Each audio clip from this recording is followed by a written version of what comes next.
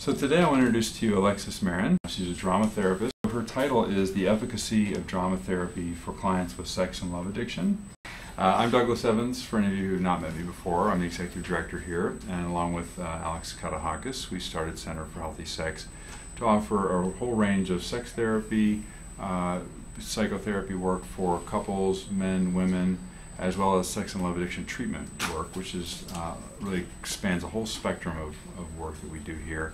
We offer groups, individuals, individual therapy, and couple work. Um, and we're really pleased to have you here and welcome back to those of you who are returning. I know a lot of you uh, continue to come back and uh, we appreciate your participation. So I'm sure you're going to learn a lot today and welcome Alexis. All right, good morning, everybody. I am so excited to be here with you today. So, thank you so much for coming to witness what I have to say. It's very important. I don't know what's been going on recently, but something's happening within the therapy community where drama therapy is starting to get a little more spotlight. I don't know what's going on, but I've had the privilege of having a couple of people reach out to me personally to come and sit with them and explain to them what drama therapy is. And so maybe some of you know what drama therapy is, maybe some of you don't. Raise your hand if you know anything about drama therapy. Okay, so the majority of you, fantastic. For those of you that don't know what drama therapy is, shout out some things what you think it is. What do you improv? Improv. Yes, that's partially what drama therapy is. What else? What else do you think it is? Reenactment. Reenactment. That's perfect. That's part of it as well. Any, anybody else have any ideas? Uh, resolve of historical issues, perhaps that have been unresolved as of the moment. I love you. Perfection. Thank you. Wonderful answer. Anybody else? What else do you think it is? Yeah. Or playing the other person's role, maybe switching roles. Reversing roles, fantastic. Embodying a role, uh huh. Anything else? Anybody think it was therapy solely for actors? No? Okay. So when I ask, when I say to people, hey, I'm a drama therapist, they go, oh, therapy for actors, huh? And even though I say yes, they probably need it more than anybody else, it's not solely for actors. So, um, what my goal is for you guys today is to hopefully teach you a few techniques that you can infuse into your own practices, even if you're not a drama therapist. Very basic things that you can use to spice up your groups, spice up your individual sessions, just for yourself too, to have more of a breadth of how therapy can be really interactive and putting your mind into action. As you may have noticed, we have a little bit of an issue with our slides, so I have to do it from my computer, so I may you may sleep every once in a while. Don't freak out. We, we got it, all right? So let's get going. So first I wanted to share with you um, my personal philosophy of how I work with my clients. Um, one of the best pieces of advice I got when I was first starting out is for me to come up with my own personal mantra. What do I want to give my clients? What's important to me to give to my clients every time I meet with them? So, what I came up with is I believe in meeting my clients with grace and leaving them with the truth. That's my goal. So, that's how I work with my clients. Whatever that means to you, I will let you interpret that, but I just wanted to let you know that's how I think about each session. The truth being their version of the truth, whatever feels the most raw and whatever feels the most basic, and feel it in their moral compass, their core self, which is something we'll get to later. Um, before I start telling you what exactly is drama therapy, I have a very important question. I need everybody to be very honest. Who has seen the movie Inside Out?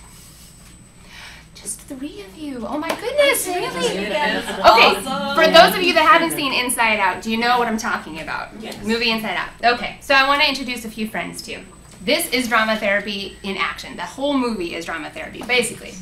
So, when I found out that I was going to do this lecture, I was full of Joy. joy. I was so excited. I couldn't wait. I had so much to say, and I was thinking about my lecture and what I was going to do. And this little character inside my brain, she had the controls. She's like, You can do this. You've got so much to say, Alexis. then something happened, which I'm sure you've all experienced if you're in the field. And my little inner critic and my um, you're a fraud voice came out. And this guy, what's this guy? Fear. This guy started talking. You're not good enough. You're not going to be able to do it. You're going to forget what you're talking about. They're not going to understand. So fear got on the realm, and I was just shaking in my boots. I can't do this, all right? And then all of a sudden, after fear got his jollies out, he said what he needed to say. This other character took the helm in my brain, and she is, what does she look like? Ugh. Yeah. Alexis, seriously, don't worry. You'll be fine. Like, don't be afraid anymore, okay? So she took over and she kind of got me out of that little, you're afraid, you can't do that place. That's disgust. after disgust, I got a little sad. I felt badly that I had let myself go to fear and to disgust. And so, poor little, poor little sadness. She's so cute, isn't she? It's really easy to stay in sadness because she's just so squishy and so cute, and you want to stay like this. And the problem with sadness is she needs to be dragged around. She's not really in control of her life. And so, sadness took over, and I felt like I was just being dragged around by the heel. And then, lastly, what I needed to get me out of the sadness was a little of this guy right here. What does he look like? Anger. Anger. Anger. I found the fire in my soul. I said, you know what? You can do this. Dang it. You don't have to feel sad. You don't have to feel mad. You don't have to feel fear. You don't have to feel disgust. But let's do this. Let's pull it together let's find the fire. And so finally, on my drive back up here today, all the way in the car for two hours, I was a little mad after because of the traffic. But joy came back into my life and I found her and I'm so joyous to be here. Okay? So these puppets or these dolls are absolutely adorable and such an amazing tool because whether it's the story that's infusing which puppet the little kid or your client picks up, or whether it's you saying, pick up this puppet and show me joy, either way, it gives them something to hold on to as like a distancing technique, which is something that we'll talk about later. But all of your homework, whether you hear anything else that I say, is go see Inside Out. It's amazing. All right? All right. So, what is drama therapy? Drama therapy, by definition, is the practice of using dramatic principles for therapeutic purposes. Okay, that sounds kind of stodgy. It's not that stodgy. Um, basically, anything that you would use in an acting class, I may use in a session, a group session or a private session. So, as you said, improvisation, role play, reversing roles, um, masks, makeup, and puppets, um, a whole bunch of all those different things are these dramatic principles that we'll use for therapy. Now, the therapy part comes in, and then it's much more personal, obviously. I'm not having my clients all the time speak as a character. We're using their personal stories, their reflections, and as the therapist, I'm providing and promoting processing skills for the client. Now, where it came from, well, drama therapy has been around for as long as time, but we put a title on it or a label on it in the early 1970s. Some of the pioneers of drama therapy, um, Dr. Robert Landy, he's the one that sort of came up with the whole role theory idea. We have Renee Emunah, she works up in San Francisco at CIIS.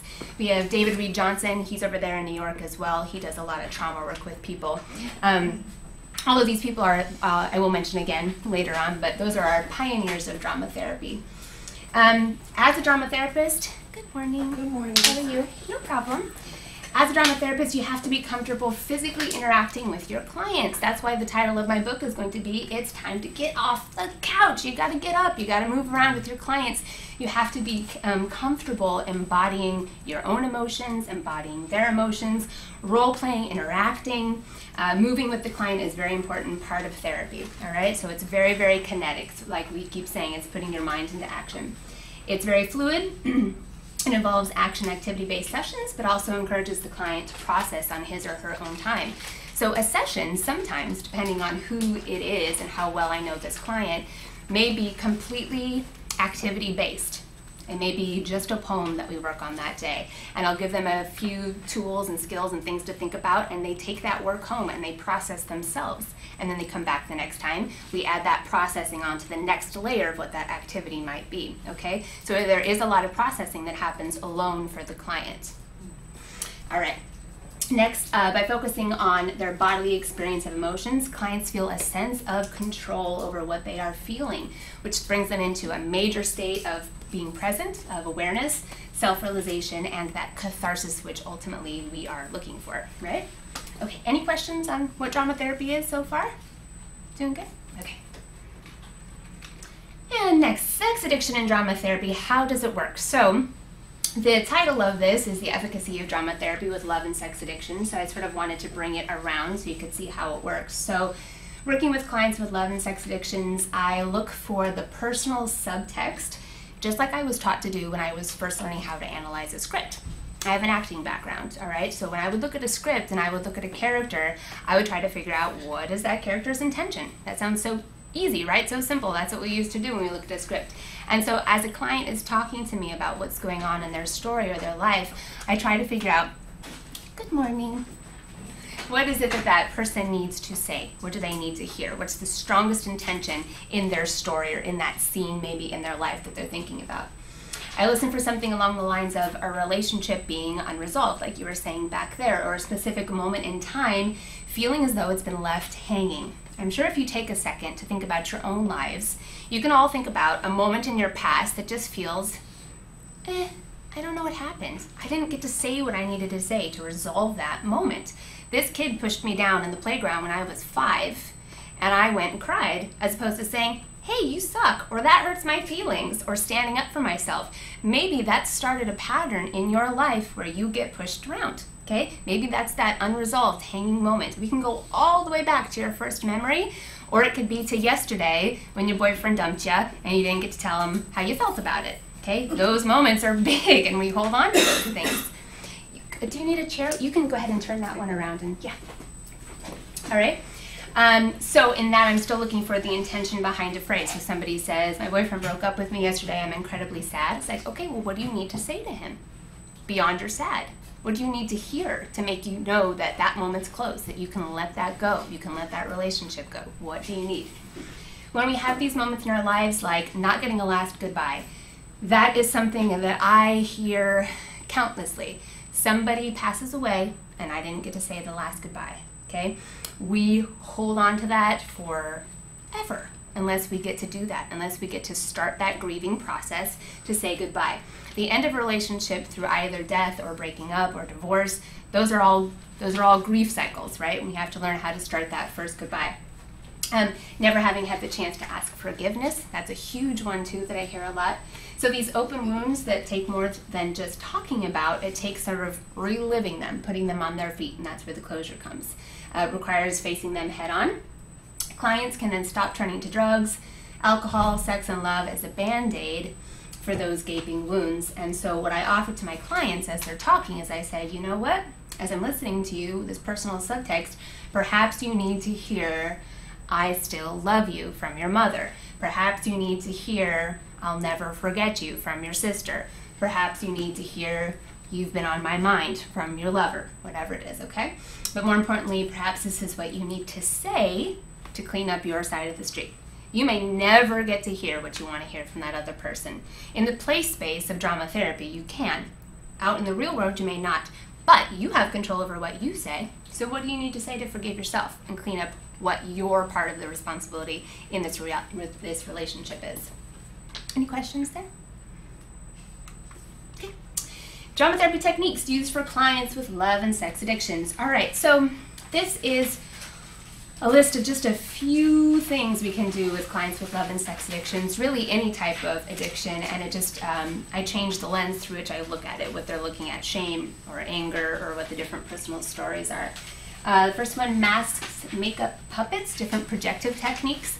I'll go more into those a little bit, but I kind of started with that. So anytime you can put something in your hand, like a puppet or a doll, you're distancing yourself from your emotion, actually physically and mentally distancing yourself. So those are projective techniques, and um, I'll talk about those in a little bit. Poetry and song and sand play three different things. Poetry i'm actually going to have you do a little poetry with me today. Song just movement to song. Everybody loosens up when you hear some songs so that's really good. And sand play i'm going to talk about. Um, i wish i had brought my sandbox with me but i have something called kinetic sand. Has anybody heard of kinetic sand? Brilliant. Oh my goodness we'll go over that in a little bit too but that's fantastic. Role method and theory role cards tell the story role counter role guide. Uh, that is dr robert landy's theory which we'll go in depth to psychodrama. Who's heard of psychodrama? Yeah, okay, so obviously psychodrama falls under the drama therapy umbrella, really stands alone as its own incredible technique, right? And you can get training for that for years. Um, rehearsal for life, so I'll go into that a little bit as well. Spectrogram is something that I'm going to have you guys do here today as well. Unfortunately, we don't have the space to be able to put it in our bodies, but I'll give you a succinct sitting in your chair version.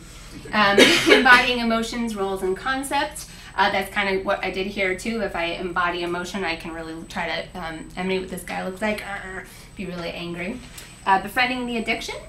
That addiction spelled incorrectly. Don't look at that. Um, mistake. Um, we are going to go through that as well. Rasaesthetics. Um, I'll explain a little bit. Rasaesthetics um, has the whole concept of basically fake it till you make it. So, what I do with my clients there who have a really hard time putting any type of emotion in their body, I tell them, you act the crap out of that emotion then. Whatever you think anger looks like. It's okay if you don't actually feel angry. What does anger look like? And they generally do some large melodramatic vaudeville or ah, anger version, right? So how it actually works is there are, it's called rasa boxes. So I have all of these words, disgust, wonder, there's nine of them, uh, fear and shame. I put them on the ground in sort of a box matrix, and I have them walk these emotions. Okay? You are standing in wonder. Show me wonder. Dial it up. Show me wonder at 10. Show me wonder at 1. Show me at 5. Okay? So I use them like a scale. I dial them up like volume. And in that, they kind of get out of their heads for a second. They feel really stupid at the beginning, and then we get over it, and then we're just playing with it, right? Sometimes the reason we have uh, two on here, fear and shame, now those are interesting how they're put together, but these are actually translated from Sanskrit, the original words, and the original words of Sanskrit did not have perfect translations to either word. So for their word, the best way to describe it was fear and shame put together. So at my client, I can say, show me fear and shame put together, and do you ever feel both simultaneously? Or I have them choose one and tell me a story as to when they used to, when they felt fearful, when they felt full of shame. Okay, so that's the Rasaesthetics, Rasa Boxes thing. Um, I can answer many more questions for you on that later on. Hip hop therapy, exactly what it sounds like. Using hip hop to get kids and adults to talk to me in their language. Show me a sculpture of freedom.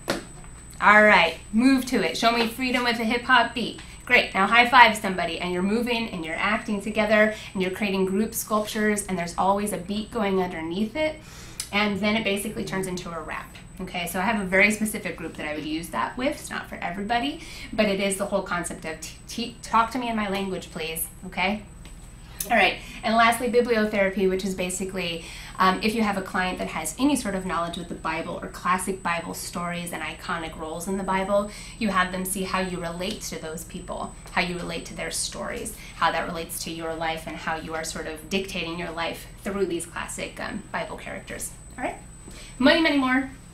As we said, growing practice, and here I'll tell you how they work with everybody. So we were just talking about those masks and makeup and puppets. So um, how many of you have heard the term aesthetic distance before? Have you ever heard that? No? have you? Maybe you've forgotten it. Okay. So uh, with mask, makeup, and puppet, what we are looking for is creating an aesthetic distance for our client between themselves and their emotions. All right? If we have a client that is under distanced, it means that they are so overly connected to their emotions that they can't tell you a story without going to bawling, to getting so angry that they can't even get it out, to what, going through so much grief that they are just falling apart every time they relive that story. That's under distance, too close, okay? Over distanced is when we have a client that can only speak analytically. How do you feel? I think that I should be doing better. Really? what does that feel like? I think, or, well, I feel sad. Do you? Because you're smiling. That doesn't seem like you feel sad, okay? So they're so over distance that there's just no connection to their body and what they're actually feeling.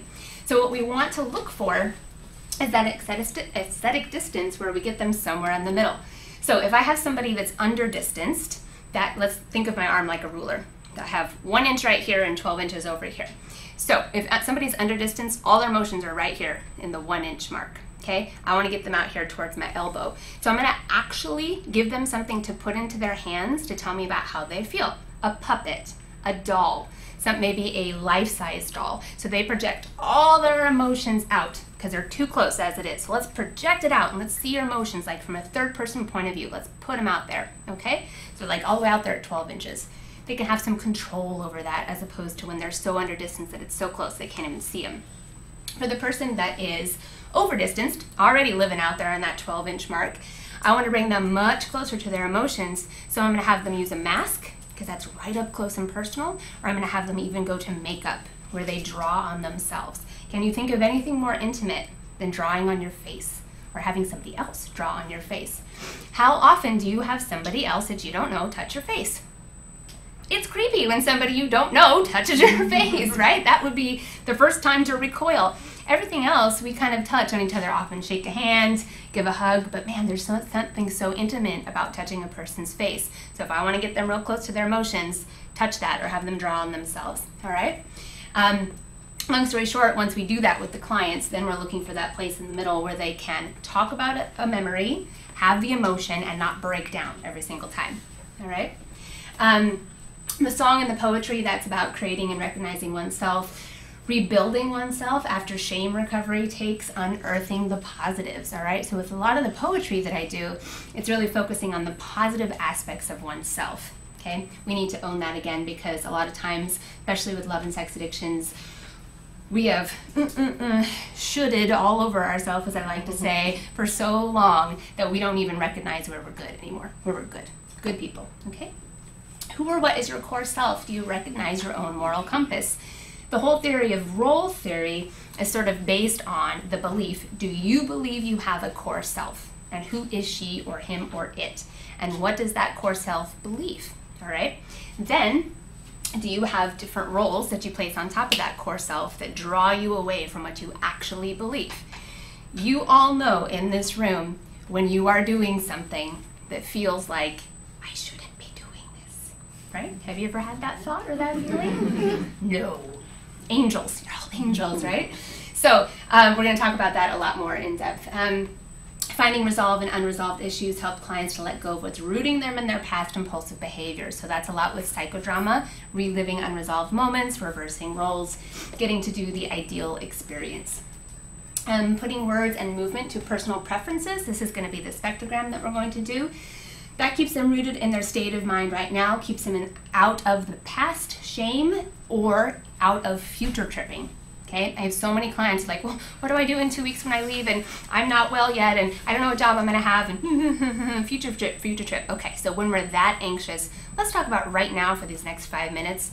What word are you gonna choose between these two words? That's the spectrogram that we're gonna get to.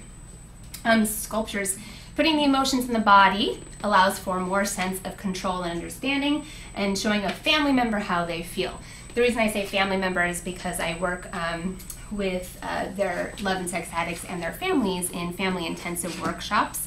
And the sculptures actually happen to be one of the most um, effective techniques because the client isn't just saying, I feel sad. My sadness feels like this. Okay? What is the what else does that look like to you? The family member can say, that doesn't just look like sadness, that looks like fear, that looks like shame, that looks like you feel so alone. Yeah, good point. I feel all those things. Thank you for saying that. Fake it till you make it, that's what we were saying with the Rasaesthetics. Uh, freedom of expression uh, through a popular medium, that's the hip hop therapy. The disidentification process. Anybody heard disidentification process? What do you, what is that? Um, it's disidentifying from the feeling. So, from what I understand, mm-hmm. so if I'm depressed and sad because this happened, it's coming to a place of I have sadness. Yes. And not am this. Very good. Not mm. sadness. Perfection. Thank you. Yes. So more importantly, the way we're doing it with this is we're disidentifying from the role of addict. I am not just an addict. I happen to have an addiction. I am in relationship to my addiction in the same way I would be in relationship to somebody that's uh, not a good fit for me. All right. So then, if we're in relationship, we also have the ability to break up with that thing. We don't have to have surgery to remove it, right? Mm. Okay. Am I, are you guys with me so far? Everybody okay? It's hot in here, huh? Woo! All right, tropical vacation, same time. All right, what's the common theme seen amongst clients suffering from love and sex addictions? Shame, usually covered up by anger and unresolved issues, yes? Okay, so a lot of the issues that I see are just not knowing what self care is, having no idea what self love is, or self worth. What does it mean to have all of those things? And sometimes we've got to go back and talk to our younger self in order to figure that out. What does that little kid in me need? Maybe a hug, maybe telling me I'm beautiful, maybe saying you're better than that, whatever it is, okay? Needing to hear I'm sorry, needing to hear I love you, needing to say goodbye, needing to hear you're forgiven, needing to hear I respect you still. Oh, that one is so huge. I respect you still, especially with these clients. They have no respect for themselves anymore. Their family, out the window, okay? So hearing from a wife from a husband that has had an addiction like this. I respect you still. I respect you as a man and as my husband. Can be one of the most repairing experiences for him or for her, whatever. Um, this is my boundary. Wow, does anybody have a hard time setting boundaries in here? Maybe personally, or with your, with your clients, teaching them how to set a boundary. That's a lot of um, psychodramas that I do when I have them think about future conversations it's 99% of the time, this is my boundary conversation. I love you, mother in law, and no, I cannot go to lunch with you every single day and tell you about my sex problems with my husband. I love you, daughter, but no, I can't hear about all the times you go out and do X, Y, and Z in the middle of the night because I'm just going to freak out, okay? These are my boundaries, please respect them. Lastly, uh, needing to say, please forgive me. It's very different than I'm sorry please forgive me. Sounds very different, right? So needing to say that actually to yourself, please forgive me, forgive myself, and then asking it of your family members or your friends around you. Okay, here we go with our first drama therapy technique. So this is role theory, role card um, exercise and assessment tool. So I don't know how clearly you can see these, but they're on your slides there. So role theory is based off of the concept that we all play a series of roles in our lives. All right? So we're sitting here at one time being more than one thing. So for example, as I'm standing here, I'm being teacher. I'm also here as a daughter. That doesn't go away just because I'm up here. Um, I'm here as a lover. I'm here as a friend. I'm here as hmm, what I hope to be a wise person. I don't know, it's debatable, right? So at this moment when I did this one, as an example, I felt like a dreamer, a witness, a sinner, a confused person, a friend, a child, a critic, a beast, and an adult. That's what I felt like I was sitting in at the time. Um, what I didn't feel like was a lost one, an angry person, a victim, an outcast, a hero, a villain, and an innocent. What I wanted to be at the time when I did this was a lover, a person of faith, beauty, helper, rebel, healer, wise person, and survivor. Now there's about 24 roles here, give or take, and all of those come from Robert Landy's original role repertoire. I didn't make these up. But the cool thing about this is that if you wanted to personalize this to your client, you can have your client say, you write out all your 24 roles if you want to, or your 100 roles, whatever it is you think it is. Or you can have, you can write out a list of um, iconic people in the movies. Um, I am a Marilyn Monroe. I am a James Dean. I am a I Love Lucy. I am a whatever it is, okay? So these are different characters that you can relate to, right? So what we're looking for here is do these roles fit in with what you believe your core self to be? Are any of these pulling you away from that? All right, so looking at this, uh, yeah, I don't like being a critic. That pulls me away from what I believe my core self is at that day, on that moment, in the five minutes that I did this. When we're having our clients do this, what we're trying to do is assess to see how well balanced our client is. Now, we're not giving them definitions of these words, it's their definitions. But if you look at their I am this category, and it's full of confused person, lost one, angry, victim, outcast, um, beast, things that we would consider to be more negative roles, we have to ask them, hey, what's going on? How are you looking at yourself today? Why are you associating with all of these different roles? Generally, there's a story behind each one. You don't just feel like a witness because you feel like a witness. You've generally experienced being a witness, whatever that is to you. Either I'm a religious witness or I'm sitting in this group and I'm listening to you, so I'm a witness to your story. I witnessed a crime, uh, whatever it is, okay? Um, we typically have a specific memory, as I was just saying, or a story, and that's how we get our clients to talk to us. This is like an intake interview without an intake interview. Tell me a story behind each one of these roles. Which ones do you like? Which ones don't you like? Why does this role make you uncomfortable? How do you feel if you say you identify with victim? Taking it to the next level, I would say, show me victim. Okay, so this is how we take 2D and make it 3D. Show me what victim looks like in your body. Show me what victim looks like in relation to me. If you're the victim, what am I? Perpetrator? Okay, what did the perpetrator do? All right, so you can make it sculpture with the, the therapist. That's how you get involved as well. Then what we do is we break it down into one role within each category. And these are what these different roles mean. So in the I am this category, it becomes what we just call your role. It's the role you identify, bless you, it's the role you identify with the most on a daily basis. So take a look at this list for a second, and pretending this for you, Which role would you identify with the most? Dreamer, witness, sinner, confused person, friend, child, critic, beast, adult. Doug, I'm going to pick on you because I know you. Which one do you identify with the most? Depends on the time. Confused person is probably leading right now. Okay, yeah. So sitting here in this moment right now, you feel like confused person. Today, this week. Yeah. Okay, all right. So when somebody says that to me, today or this week, Mhm. sometimes that causes a lot of anxiety because they go, well, I don't know what I was for the entire week. I mean, I was once confused and then I was a beast and okay, right now, sitting right here today, right now, uh, twelve fifteen. What do you feel? Oh. Of those, of the ones on the left list? Yeah, you're pretending you're me for a second. Oh, yeah, friend. Friend? Great, yeah. Yeah. I'd call you a friend majority of the time. Yeah, so Doug feels like he's a friend the majority of the time, okay? Mm-hmm. Your I am not this becomes your counter role. This one is a little tricky to explain. The counter role is your underbelly. You're saying you're not these, but you are. Mm-hmm. All of these you are. Mm-hmm. You just have 100% of them or 2% of them, and it's just how relatable they are to you in that moment, okay?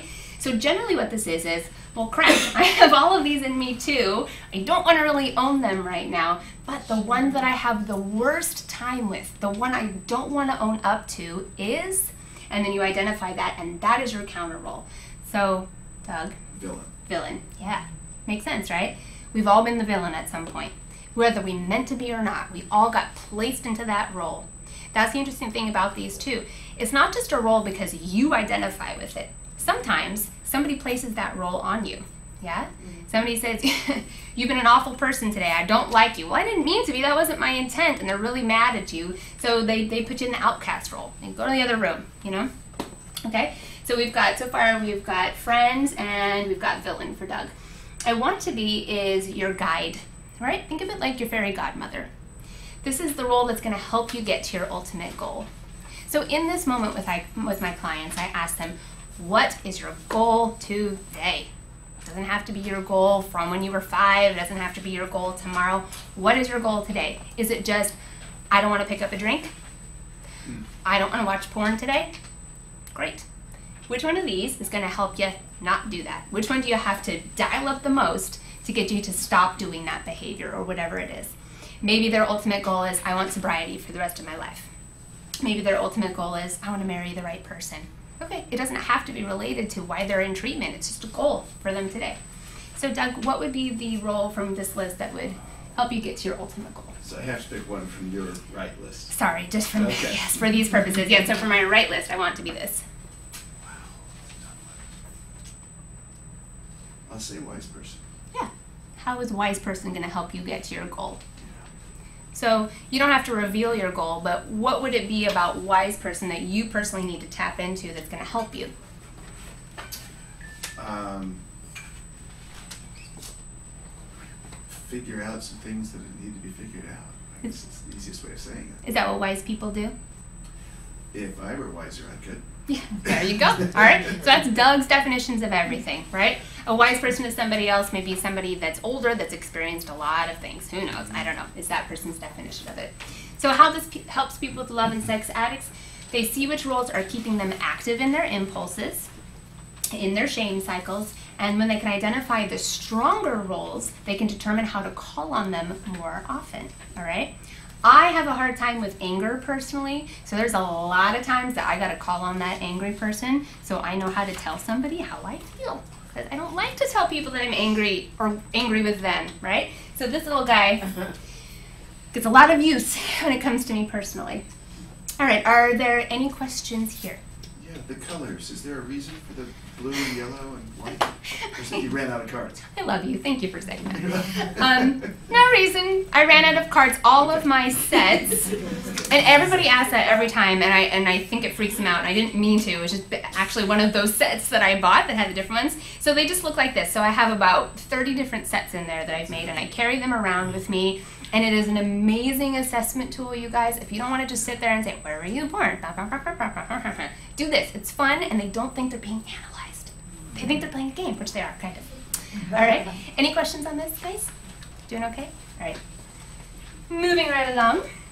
here's what comes next. Here's the step two, and this is where it becomes drama therapy, taking the two dimensional to the three dimensional and putting it into action. So, what we're going to do next is we're going to tell a story, all right? So, taking the three roles that you just narrowed down with your client, so we've got friend and villain and wise person. Doug would start a story based off of those three characters. And he's not going to write down his own story, though. He's going to pick somebody else in the group, or he's going to use me as the therapist to be his scribe. This is incredibly important. This is probably the most important part of this exercise. Client never touches their own story. They think about it and it's free association, and somebody else writes it down for them. All right? And that other person, whether it's me or another client, writes down every word, every um, every O, every, I don't know, everything, okay? It gives you the answers here of why we think we do that, but don't look. Why do you think we do that? Why do you think we have a scribe write it down? Just tell me some answers off the top of your head. Yeah. Because it's uh, the different processes, the an- an- analytical process of writing is different to the process of kind of um, storytelling. Fantastic. Yes, exactly. That's one reason. Why else would it be beneficial? Or we edit ourselves when we're writing. Perfect. Yes. Cross it out. Oh, I should have put an exclamation point. Right? Yeah, we don't want to do that. Mm-hmm. We don't understand our own communication skills. Right. Ooh, good point. Yeah. So when we realize, oh, that person doesn't understand what I'm saying, let me go slower or whatever it is, right? We are witnessed in a different way.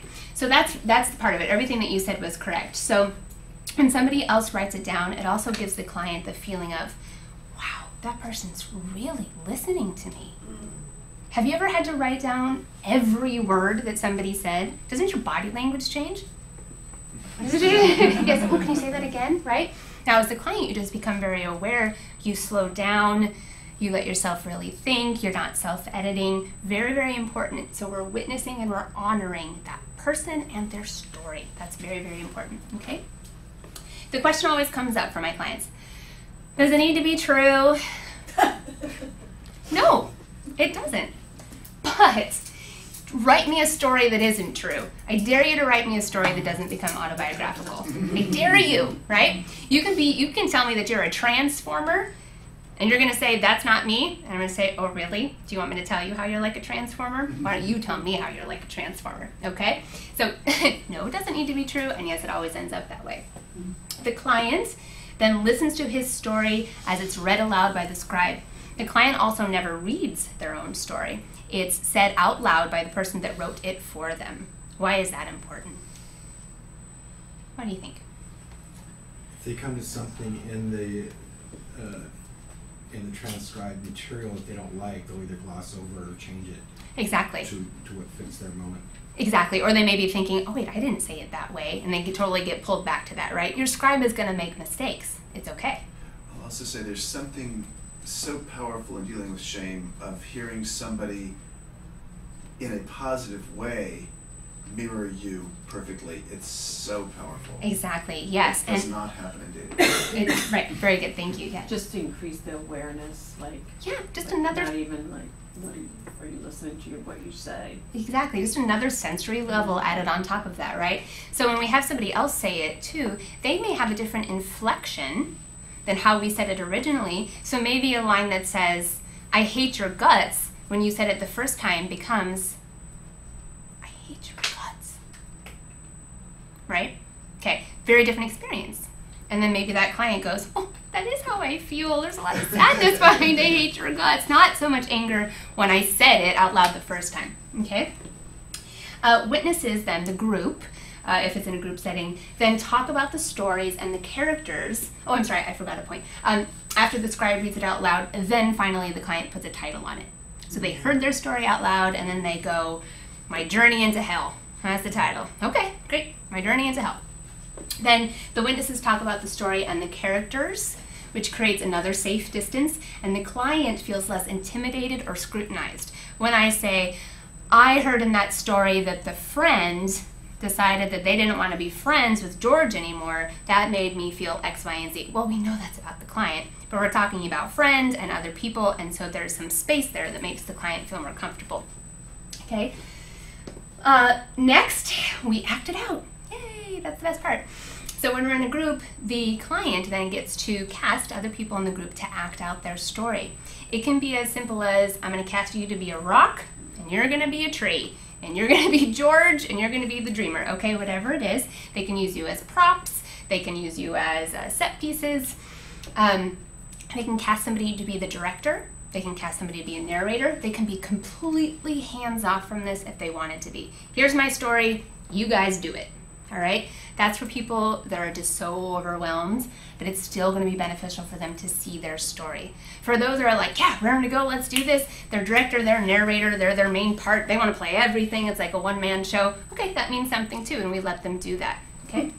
Finally, uh, the, um, if it's a one-on-one session, the client can act it out with toys or props. Okay, so all the little toys, um, props, things that I have for sand play, I can't play all the parts all at once because um, I have to witness and analyze them at the same time. But they can do it on a smaller scale. Okay, once upon a time there was a dreamer. Here's my little dreamer, and they do X, Y, Z. Finally, if it's a group, the group processes their experiences of the story, usually focusing on positive feedback for what they witnessed, and then they can make it personal about how they relate to it all right? It's very important that the feedback is positive because just like any other creation, it's very, very vulnerable to put a creation up there and then have somebody say, well, I thought that was crap, okay? Well, you can relate to the story and say, that made me feel sad, but we're not there to say, that was the worst production of Peter Pan I've ever seen, all right? We're not criticizing them as artists. Any questions there? Lots of information. Okay, here we go. Poetry in motion. Um, all right, you guys. So we're gonna do this one together. So if you guys can take out your papers, it has something to write on. You're just gonna be answering a very uh, small section of questions right here. Do you need a pen? There's one right there. Um, oh, you need a handout. Oh, I'm sorry. Yes, uh, they might have them out there. They should have them out there. Okay, poetry in motion. This is called Poetry in Motion because we are focusing on very specific um, bodily experiences. The reason we do this is because um, for some people that are experiencing a lot of anxiety in the moment, I try to have them think about a moment from their past or a moment uh, that they want to have in their future, and I have them think about it in detail to take them out of the anxiety that they're feeling right there and to take them bodily back to an experience they already had. Um, now, it depends on what's happening for that client. If that client is having a lot of anxiety in the moment, I'm not going to take them back to the first day they came to treatment. No problem, I'm not going to do that. But I will take them back to a happy memory, okay, and I'll have them think about that, and that's what I'm going to have you guys think about right now. So I want you to think about and try to relive in your brain as much as you can a very happy memory, something that happened to you. It can be very small, very large, a moment in time that's a very happy memory.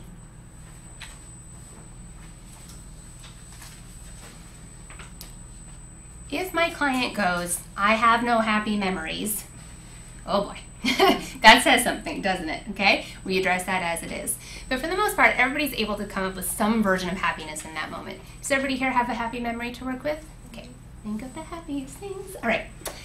Body part. So, what I'm going to ask you to do is I want you to think about the body part that stands out the most when you think about that memory. And you're going to tell me what it's doing. Stomach is squirmy, cheeks are aching from smiling, my shoulders are tense, my feet hurt from being in the high heels. Um, I feel my dress around my waist, it's cinched in. So a body part and what it's doing, kind of how it feels. All right, what stands out for you? My head is pounding. My muscles are aching.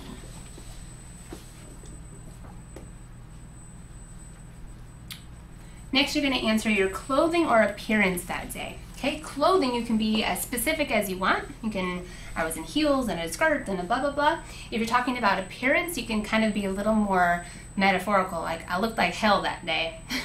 it wasn't my best moment. Uh, or you can just focus on one body part like I did, lips all shiny.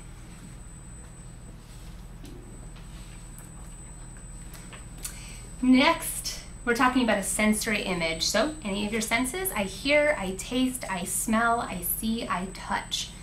What do you remember from that moment? I hear the seagulls screaming down the beach.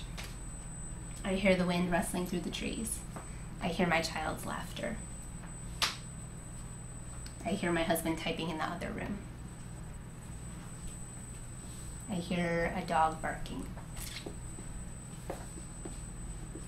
Okay. In that memory, what mood are you in? You don't necessarily have to be happy in your happy memory. Were you in a bad mood that day? Were you feeling anxious still, even in that happy moment? You can be two things I'm anxious and hopeful. It's your mood. Go back to your mood that day.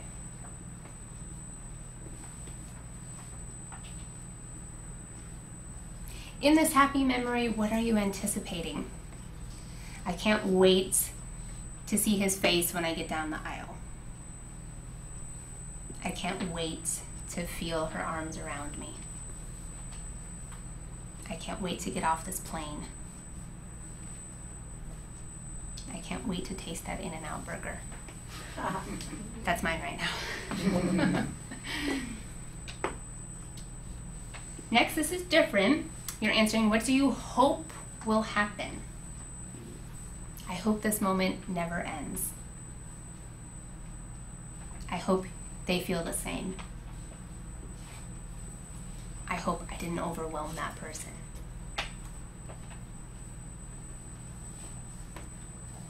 I hope they like my butt in these jeans. Lastly, how will you get where you're going? You can take this literally or figuratively. I'm gonna get in the bus and they're gonna drive me there. Or you can take it figuratively and you can say, I'm gonna take it a day at a time. I'm gonna believe that he loves me. I'm going to forgive that person when they ask.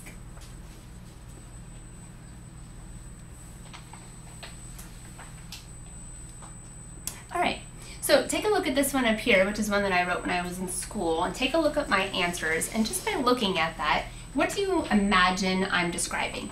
Stomach is squirmy, lips all shiny. I hear my heels on the pavement, feet on the pavement. I'm anxious and hopeful. I can't wait to see him, to feel his arms around me. Oh, feet, quicken your pace.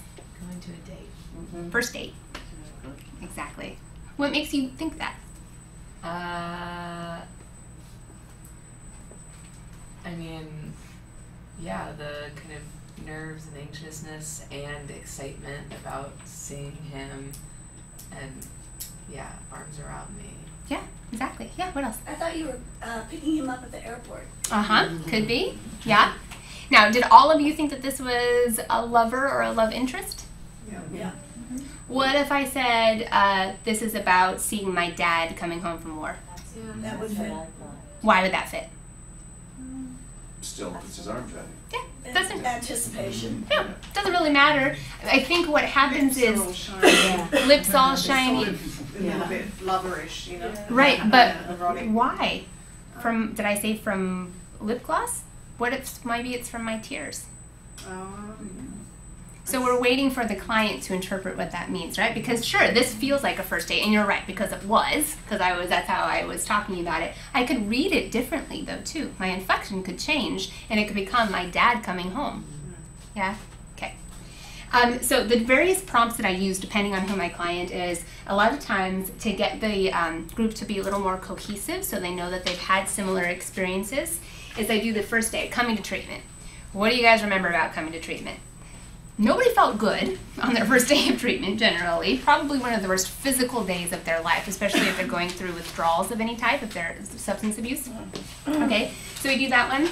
Depending on where the client is, I'll have them do a happy memory. If they're stable enough at the moment, I have them do a sad memory. This is where I'm testing if they're distanced or under distanced or aesthetically distanced, right? If they have the sad memory and they can't get through it without completely breaking down, that means something to me. And then lastly, for people to get them out of a little drudgery, I have them think of a moment in the future, okay? And they are anticipating what they want to have happen. Yeah, I, I got a little lost. Yeah. Do you, um, do you have the client, um, tell you the moment that they have described, like we guessed yours? Or, No, no, I don't. I'm generally giving, well, yes and no. I give them the theme, and then they give me the specifics, and then I have the group say, what does that sound like to you? Okay, so Oh. yes, the group answers that. Oh, okay. And then I have the client say, "Oh no, no, no! Actually, this was the day that I uh, picked up my dog from the pound." Okay. Okay, right? Why not? Sure. yeah. And then we go, "Oh, I felt that way too when I got my puppy for the first time," or I don't know what it's like to be on a first date. Okay, different things like that. Does that make sense, guys? Okay. So as I said before, this helps as a grounding activity to counteract anxiety, depending on which one we're working on, helping to recall specific memories, perhaps even associated with triggers, both positive and negative. All right. Um, it's a very good just exercise in general for us to be able to think about our memories in detail. How much do we actually recall? When you force yourself to think about it bodily, you remember more right? Because maybe you're like, oh, the best day of my life was when I was at the beach. Okay, yeah, but did you feel the sand beneath your toes? Did you get sunburned? Do you feel how hot you felt, right? Do you remember what bikini you were wearing? Things like that. All right. Does anybody want to share theirs? I'll share mine. Fantastic, thank you. Heart is expanded, sweats and socks. I hear the rain hitting the pavement. I'm calm and excited to see baby girl's eyes of wonder. I hope she remembers this forever and will watch her with wonder of my own. Hmm. Oh, that's so beautiful. What is the feeling that that poem gave you? Nurturing. Nurturing. What does it make you want to do? Does anybody make anybody else want to do this? Yeah. Okay, so we've got nurturing. It makes me want to do this. What else did you feel? Warmth. Warm. Mm-hmm. Yeah. What else? Beauty. Love, beauty, Tenderness. tenderness. Even the way she said it was just so calm and even, right? So, what were you? What do we imagine this she was describing? Daughter, there's birth of a child. Birth of a child. You got mention of a baby girl in there, right? Mm-hmm. Any other guesses? What were you describing? Uh, my niece's first experience of rain. Ooh. Ooh, that gave you chills. I love it. Yeah, that's awesome. So um, that's cool because you're experiencing it from you and also maybe trying to imagine what she's feeling at the same time. So you've got two things going on there. All right, very good. Thank you. Anybody else want to share? There's no right or wrong. All right, I'm making sure later. You're not getting off the hook. Okay, here we go. All good with this, you guys? I'm just noticing our time. Got a lot to do. Okay, here's another poem. Uh, this is called the I Come From or the Hero's Journey. This one is uh, simple, nothing simple for the client, simple in that all I'm doing is asking you very specific, what seem to be pretty uh, perfunctory questions and them answering it, all right? The place you were born, favorite breakfast food, a toy you once had as a kid, a game you played as a kid. Now, there are actually 50, five zero questions that I ask them in a session. This is another sort of assessment tool, kind of like an intake that's more creative. Um, so they answer all of these questions. The questions are purposefully laid out in the order that they are because it takes you from childhood to adult to shallow to deep to positive to negative. It's making you constantly bounce around in your head so you're not getting stuck anywhere. All right? Going from positive to all these different things. So, because we go something compliment, something mean, something beautiful, something afraid. Ding, ding, ding, bouncing all around in your head. All right? So, the client answers the 50 questions. Uh, and then they read it out loud. Yeah. Are is it is who's writing all the answers? They're writing their own answers, Okay. and I'm asking the questions. They don't have a sheet that has the questions Okay. because I don't want them to work ahead. As a group, place you were born, write it down. Da, Do da, they, da. do they know the the like title is I come from? They do. Okay. hmm They know that beforehand. What they don't know is that when they're going to say the poems out loud at the end, they're actually going to say the phrase I come from in front of every answer. So they're going to say for 50 times I come from Newport Beach, California. I come from Eggo Waffles. I come from Buckwheat My Rocking Horse. I come from The Memory Game. I come from You Are So Serene. I come from I Don't Love You. I come from kindness. I come from being alone. I come from. I don't know what I hope for. Oh, that's sad. Okay. So, those are all the different uh, versions of answers, right? No right or wrong answer. They say it out loud. As they're saying it out loud, the other people in the group are listening for themes and patterns that arise. always, without fail, there are 50 different questions, and somebody will answer these questions with the same word or a same pattern multiple times. If somebody has kids, the word kid or children is going to be in here multiple times. 50 different questions, though. Something I love, something I hate. Okay, yep, all right. Something I think is beautiful, something I'm afraid of. Can be the same thing, right? Yeah, okay. So they say it out loud, they say I come from, they own every little picadillo and idiosyncrasy in themselves, and that's part of it, is owning everything that they are. This is where I come from, good, bad, and different. This is what people hear about me. This is the snapshot of my life. And then I ask them, Are you happy with what we're hearing? No. Do you want to change anything? Yeah. Okay, change it. How different would it have been five years ago? Well, five years ago, uh, I wasn't drinking yet. Okay, different. Okay. Any questions here? Pretty simple, right? This one just sort of a question and answer type of a thing. The performance part comes and they get to stand up and read their poem out loud, and it's kind of like um, slam poetry a little bit. All right, befriending the addiction. This one is one of my favorite ones as well. Has anybody ever done this before? Okay, I'm gonna have you guys do this one with me. All right, here we go. So, I want you to think about something that you could work on personally in your life. It doesn't have to be an addiction, but something that you're working on. Uh, maybe it's um, impulses are, are stronger than you control. Maybe you've got an anger issue. Maybe you don't know how to talk about sadness. Maybe you have a problem telling the truth, okay? All those things feel like something. And what you're going to do is you're going to make a character of that thing. You're making a character, like you're drawing it out, like you're describing it, like you had to cast this thing in a movie and you want it to look like this, all right? So first of all, you have to figure out this thing, and I'm saying it's an addiction because I'm generally working with people with the addiction. Would this thing be a man or a woman? When you think about this thing that you're working on, what does it look like, a man or a woman?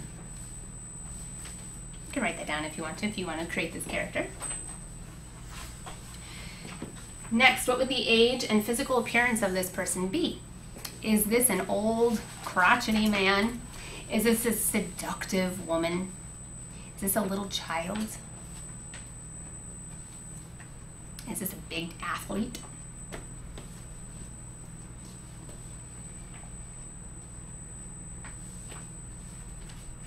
Then I want you to get as detailed as you can. You're actually starting to envision this character. And what is the expression on his or her face? Are they smirking at you? Are they grimacing? Are they growling? Are they confused? Are they staring at you with anger in their eyes? Do they look disappointed? What's the expression on his or her face? I see some of you making faces out there. I love it. Mm. What kind of clothes does he or she wear? What are his behaviors, voice, and gestures? So you can get as specific as you want here. If it's a seductive woman, is she in an evening gown with a plunging neckline? Can you see all of her curves? Does she have jewelry dripping up and down her arms? Uh, does she does she saunter across the room? Is her voice clear like a bell? Is she graceful in the way that she moves? Okay, you're really envisioning this person, this thing, like this person's walking into the room. Oh, that is my problem with. Mm-hmm. That's what that looks like. I know I'm sorry we have to go quickly, but next, uh, what would his or her name be? Name this guy. Name this girl. Doesn't have to be a human name as we know it, like Veronica or Stacy or Jim. It can be a fat bastard. It can be the lonely soul. Whatever it is, you're going to name this character.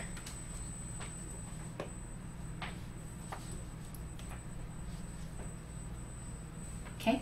Now I want you to think about does he or she seduce you, attack you, trick you? This thing love you into feeling this way? Does it hate you into feeling this way? Does it push you? Does it pull you? This character is interacting with you in some way. What does it do? Does it smack you? Does it caress you? Does it hold you?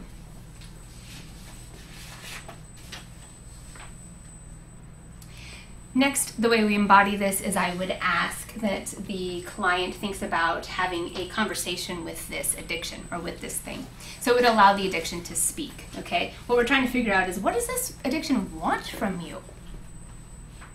What does it want? Try to figure that out. And how would it ask for it? What's it saying? I want you to feel like you're on top of the world. I want you to feel like you can do anything. I want you to feel like the piece of crap that you are. As it talks, what is it saying? And then how do you talk back to it? What do you want to say to it? This right here is what we were talking about before the disidentification process. I am not my addiction, I am in relationship to it. This, this other thing looks like this. I can talk to it, and I can also say, it's time for it to scram. Kick it out of your life. Okay? I have a question. Yeah. The addiction be kind of interchangeably used with someone with depression? Yes. Someone with loneliness? Exactly, yeah. So befriending your depression, befriending your anxiety, befriending your loneliness, right? So with those, um, it's a lot of um, my loneliness feels like um, an old woman, woman in white rags and she's hunched over, and it's kind of like what that person makes them feel. That's how they do it a lot of the time. Yeah, good question. Thank you. All right, are you guys clear with this one? Then we could make whole scenes out of this. I mean, we could have them write down what it says, and we, they could have other people act it out. They can act it out themselves, but there's a zillion other steps that we can do after that. This is just the, the stepping stone, the building block to it. All right, next we have sand play. This is what I was talking about with the kinetic sand. The kinetic sand is basically like wet sand all the time that makes no mess. I don't know if there's any better way to say it. You can mold it and shape it, and if you drop it on the floor, it sticks to itself. So you just take a ball of it and, and uh, pick it up with the, the other sand, which is fantastic. Um, long story short, this is very simple and kind of like play therapy. This is kind of uh, a little bit bigger than a shoe sized box. This is my ball of kinetic sand, fills up about half of it. Um, what I ask is for the client to create their world out of the sand. Okay, so maybe they have a lot of dips and valleys. Maybe they make a whole bunch of mountains. Maybe they have many peaks in there. Maybe their world is one big ball. Maybe they take all the sand and take it out of the box. Is their world. They're, I'm not. I'm not asking them to do anything with it yet, except to show me their world. Then I have them choose one item that represents themselves. So they're going to choose a toy that they think best represents themselves in that moment for whatever reason. I look like that toy, I relate to that toy, that toy makes me feel, and they put that toy where they feel they are in their world. All right? So that's me in the middle there, this character, and uh, she's in the center of her world. I'm always in the center of my world. Uh, she's in the center of her world. Okay, if my client took that character and put them out here where this one is, that would be interesting. Okay, you're totally separated from your world. I'm not there to ask them about it yet. These are just the things that I'm thinking about. Then I have the client choose nine more items. The nine more items represent people, places, emotions, concepts, things that are important to them. Um, and as they're choosing, they say, This represents my career. This represents my husband. These snakes represent my anxiety. That's one of the snakes. Okay? They just say what it represents, and then we go back and we talk about each one of them. How close are they to you? How far are they from you? Are they where you want them to be? Your career looks pretty big and overbearing. Are you stressed out at work? Yep, okay, that makes sense. All right, so you, they show you their world. Once again, just kind of a cool distancing technique so you can see it in front of yourselves. And then you have them totally do a blank slate, and then you have them create their ideal world. Okay? Then you ask them, is it the same characters? Are there different characters? If you had to break it down, you could only have three items left in addition to you. What would you keep? The concept of love, the concept of sobriety, the concept of my family. I would flush everybody out and it would just be me. What's your ideal world in that moment? Okay? Does that make sense, guys? Pretty simple, right? It's just another like, there's my world, I have control. That feels good. Okay. All right, spectrogram. You can choose a word, how you associate with it today. That's it. Very simple. Raise your hand if you associate with black today versus white.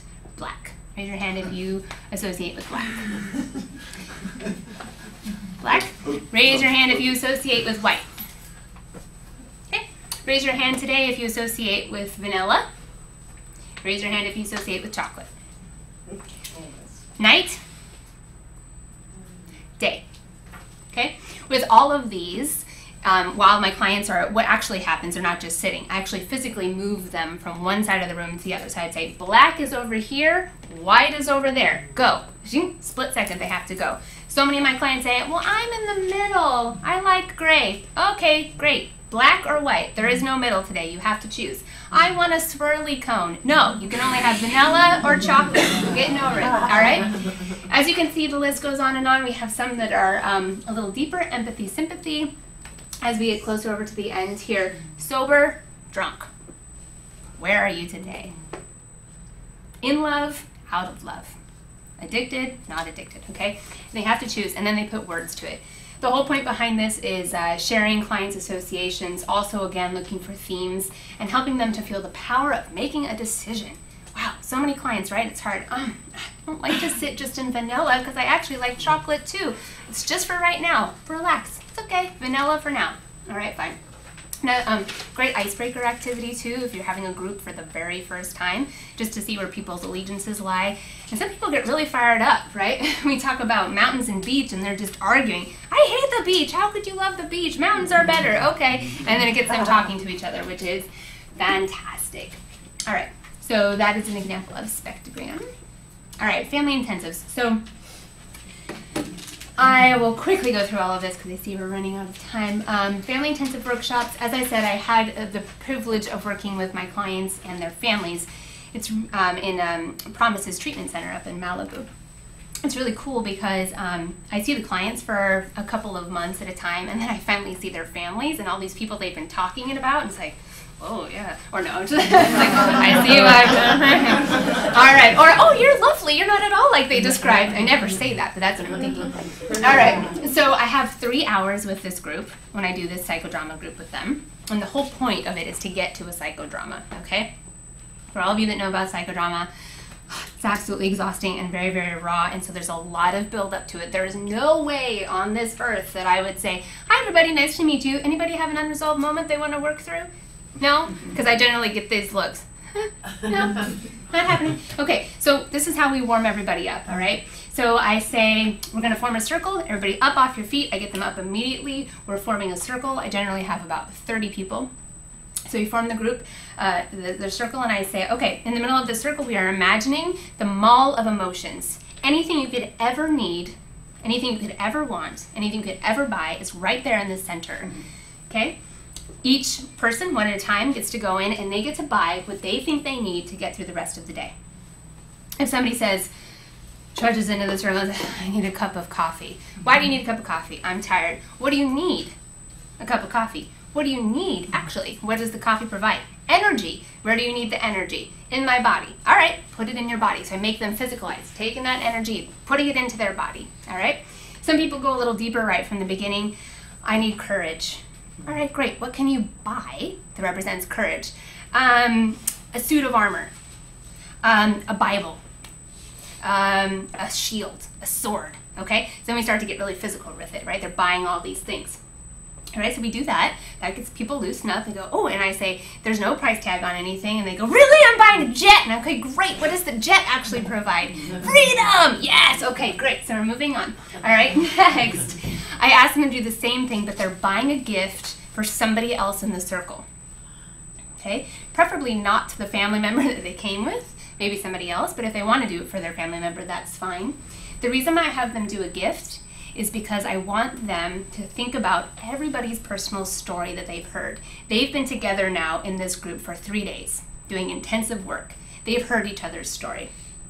So I may say to this person, I want to buy you a trip around the world with your family because I know how much you miss them and you need quality time. Do you accept that gift? And that person goes, oh, yeah. Okay, and then it gets them starting to think, oh, I can buy a trip around the world. I could buy a time machine. I can go back in time. I could buy sobriety for life. I can give you feelings of love and joy for the rest of your life. Do you accept those gifts? Yes, it's like Oprah, you get a car, and you get a car, and you get a car. Everybody feels so good because we're giving gifts. And ultimately, what that part is, is somebody I don't know listens to my story and what I need. They're going to give that to me. Okay. All right. Uh, as I just said, the ritual of picking something out for the person and symbolically offering it to them just feels good to begin with. It feels good to give gifts, but also when the person receives the gift, it helps them to feel heard because someone has been listening to the details of their story. Next is our family sculptures, and this is uh, generally where it gets deeper and people start to cry. Love it. Here's why people start to cry. Okay, so then I say, all right, we are turning this room into a museum. All right, everybody in here is an artist. All of my clients, you are the artists, and your families are your families are pieces of clay. The word that you are going to show me is addiction. Show me what addiction looks like in your family. Okay? The client then takes all the different family members and puts them into different positions, like they're a piece of clay or a piece of marble. Okay? It can be literally how they know that person to be in their addiction, like my dad was always on his computer. My mom was constantly worrying on the phone. My sister had her nose over a line of Coke too. Okay? It can be literally how that person knows them, or it can be my mom always looked like she was about to cry. My dad always looked like he was about to beat me. Okay? He puts the client puts them into all of these different sculptures, sculptures, excuse me, and how they relate. Yeah. Which client? Because the whole family's there. Is it the one in treatment? Yes, the one in treatment, the original client. Okay. Uh-huh. Yeah. And then the client inserts themselves into the sculpture as well. Okay, that's the very last piece. So it sculpts everybody else, then he inserts himself in, and we've got the final piece. Everybody takes a moment um, and then goes to the center of the circle one at a time, and the rest of the group talks about what they see, almost like they're just they're looking at a piece of art, not trying to interpret a story, just what they see. Okay, so if I get myself into this position over here, what do you see? Terror. Terror. What else? Frozen. Frozen. What else? Alone. Alone. Shame. Shame. What else? Protection. protection. Okay, so that says a lot just by getting into that. It could be a zillion things, and this is what the the witnesses, the audience, are saying that they see. From that position, I can go, yeah, yeah, that's what I feel. Okay, look at the next person. What do you see? If it's this motion, what do you see? Wanting. Wanting. What else? Begging, Begging. What else? Frustration. Frustration. What else? holding, Holding. What else? Tension. Waiting. Tension. Waiting. Okay, mm-hmm. where's the energy going? Which direction? Oh, other. This way, right? Like a- Protection. yeah, protection. Yeah. Yearning. Different if I'm like this. Which way is the energy going? Towards you. backwards, mm-hmm. right? Okay, so this is going to be in relation to all of these other people, and this is what we're seeing.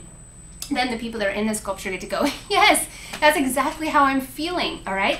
If somebody's in this position, then I may ask that family member or that client, what do you want to say from this position? And generally they break and go, well, I want to say that I was really reaching out for that. No, no, no. What do you want to say like it's a line in a movie, okay? Please let me help you. I need you. Okay? We're looking for the line, the thing. What does this say? Ah, I'm so tired. Okay? Whatever it is, or generally something that they need to say. Then they all can have a line, they talk about it. Um, right here, when they generally speak what it is that they need, if it's like, I miss you, okay, that's where we get the tears. Because this is basically the scene that they're wanting, right? That's the warm up for the psychodrama. What do you need to say? What do you need to hear? Okay? Then we already know how we could reverse roles. Then we just put the unresolved moment on top of it. You walked out the door 10 days ago, and I haven't gotten to talk to you since. That's how I was left. And you were like this. Okay? So then we go back to that, if that's the unresolved moment. Okay? I have a question. Yeah. What if the family members see it differently? It's a good point.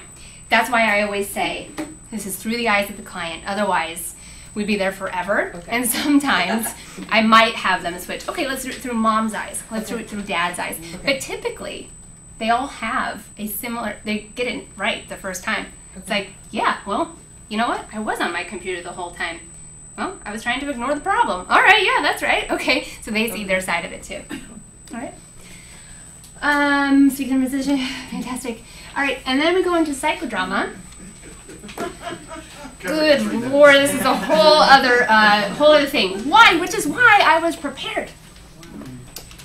In that, after all of this information that's on your sheet, you have a separate handout that has detailed psychodrama information that takes you through an entire psychodrama session. How you choose the protagonist, where psychodrama comes from, what it means to reverse roles, how you do role training, um, what the double is. Okay, there's a whole other training that I could do just on psychodrama, but it's very, very detailed. There's also a case study in there that's called The Dance. Um, it's one of the clients that I had. You can see how psychodrama is effective even if you don't put words to it. Okay. Um, let's see if there's. That's me. Call me if you need me. If you have any other questions, seriously, we just went through so much information. Please feel free to give me a call. You can text me. You can visit my website, um, and I would be happy to answer any other questions for you. Um, do you have any questions currently? Thank you for your Thank presentation. you. Thank you. Thank you. My pleasure.